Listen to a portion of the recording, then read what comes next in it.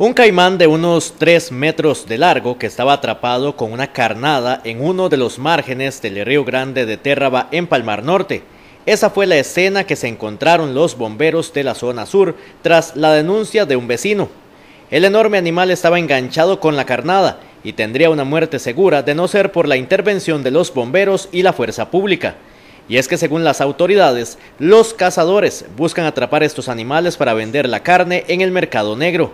Un caimán que está enredado con una cuerda en su hocico, lo localizamos, se libera, aproximadamente tiene 3 metros de largo. Se localiza y vamos a liberarlo en un lugar seguro. Las autoridades piden denunciar este tipo de hechos para evitar que animales como estos sean presas de los cazadores.